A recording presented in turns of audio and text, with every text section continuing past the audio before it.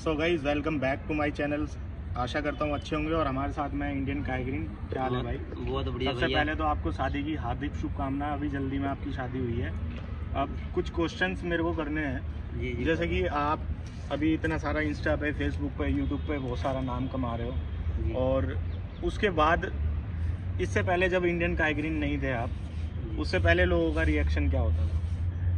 उससे पहले लोगों का अट्रैक्शन इतनी तरफ़ मतलब इतनी ज़्यादा नहीं थी मेरी तरफ़। जैसे मैं मतलब नॉर्मली जैसे जैसे मैं कंपटीशन में जाता तो मतलब मेरे साथ, मेरी तरफ़ देख के कोई इतना अट्रैक्ट नहीं होता था। वो नॉर्मली चलो हाइट छोटी है, चलो फ़ोटो के चले थे अब मतलब मान लो मैं इधर से, मैं चल के जा रहा हूँ, सौ बंदे हैं ना तो उसमें ज़्यादा से ज़्यादा दस बीस बंदे देखेंगे। अब सिस्टम ऐसा है, सौ है, बंदे हैं ना तो मैं यहाँ से चल के जाऊँगा तो नाइन्टी नाइन बंदे मेरे तरफ़ देखते अट्रैक्ट होते हैं और फ़ोटो वोटो भी कराते हैं। तो चलो गेम बदल गई थोड़ी बहुत है। और सबसे पहले मैं ये बात ये बता पूछना चाहता हूँ आपसे कि जब आपने ये फ़र्स्ट लुक रखा तो जो आस पास पास का जो माहौल है आपके आस पड़ोस का जो माहौल है उस पर क्या इम्प्रेशन गया कि ये गणेश जो है ये किस तरीके का बन गया है ये इसने बड़ी चुटिया कर लिया इस टाइप का कुछ हुआ था? आप आप देखो भैया आप भी मतलब आप भी काफ़ी समझदार हो। आप देखो आप इस फ़ील्ड में हो तो मैंने चोटी रखी है तो आपको पता कि मैंने क्यों रखी? इसकी वजह भी पता है। और जो नॉर्मल बंदा है, उसको बॉडी बिल्डिंग के बारे में पता नहीं है जिम के बारे में पता नहीं है। उस, उसके बड़ी, उससे बड़ी बात टाइगरिन के बारे में नहीं पता है।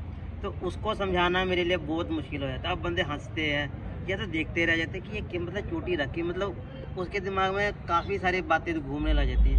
यार क्या ये? समझ नहीं लगी मतलब क्या चोटी रखी मेरे को भी हँसी आती है मैं चलो कोई बात। मैंने देखा है कि काइग्रीन की जो प्रोफ़ाइल है उसमें सिर्फ़ दो ही इंडियन बंदे हैं जिनको उन्होंने फॉलो कर रखा है। और टाइम टू टाइम जो है वो आप उनकी वो आपकी स्टोरी लगाते रहते हैं। तो आपका जब काइग्रीन से मीटअप होगा मतलब कि तो आपका रिएक्शन क्या होगा उस टाइम मैं तो पैर ही पकड़ लूँगा उनके।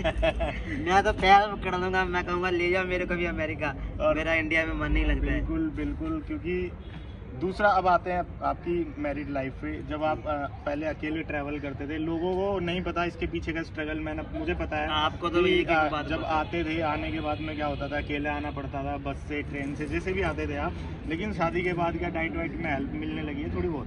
हाँ शादी के बाद तो चलो हाँ काफ़ी कुछ हेल्प मिल रही है पर एक प्रॉब्लम हो गई मेरे साथ इंजरी की। तो वो दो ढाई महीने से उससे उसकी वजह से परेशान हूँ। तो एक्सरसाइज वगैरह बॉडी भी ख़राब हो गई मेरी। तो थोड़ा सा बस इंजरी की दिक्कत है बाकी तो चलो शादी आपको लोग बहुत प्यार करते हैं भाई। जैसा कि हम सभी देखते हैं हर सोशल मीडिया पे जो है इंडियन काइग्रीन आज किसी की मोहता पहचान का मोहताज नहीं है। और जब काइग्रीन सर आपको फॉलो करते हैं आपके स्टेप्स को जितने भी कॉपी करते हैं और आपकी स्टोरीज वगैरह लगाते हैं तो कैसा फील होता है कि बहुत मैं जब मैं पहली बार जब देखा ना ना मैं वैसे ही उन्होंने जब मेरी एक स्टोरी लगाई थी तो उस पर लिखा था रिस्पेक्ट चैंपियन तो मैं ट्रेन में बैठा हुआ था तो टाइगरीन का ना नोटिफिकेशन आया। उस पर मैंशन वाला लिखा मैं सोच में पड़ा मैं टाइगरीन मैं कहा मेरे को मैंशन में बस मैं दिमाग में अजीब अजीब से ख्याल आने लगे। तो वो कुदरती वहाँ उस तब ना मेरा नेट भी नहीं था चल ही नहीं रहा था कुदरती।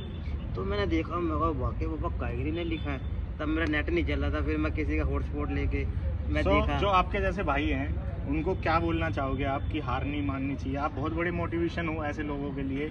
और अपने इस लुक के लिए तो दो वर्ड में, तीन वर्ड में अगर कुछ कहना हो तो क्या बोलोगे? पहली बात तो ये है, अगर हार मानोगे तो वहीं के वहीं रुक जाओगे। अगर हार नहीं मानोगे तो आप वहाँ तक भी पहुँच जाओगे, जहाँ तक आपने कभी सोचा भी नहीं हो तो इसलिए जो भी आप कर, काम कर रहे हो कंटिन्यू करते रहो करते रहो, कभी रुको मत।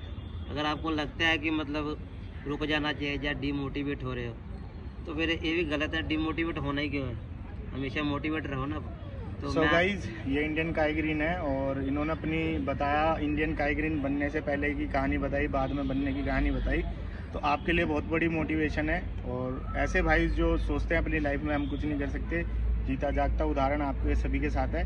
चैनल पे नए हो तो इसको और छोटी सी बात मैं भी बोलूँगा थोड़ा मेरी तरह कैमरा कर दो और ये भैया का चैनल है यूट्यूब का राजू माथुर फिटनेस वीडियो तो मैं चाहता हूँ भैया का चैनल ज़्यादा से ज़्यादा सब्सक्राइब करो लाइक करो शेयर करो।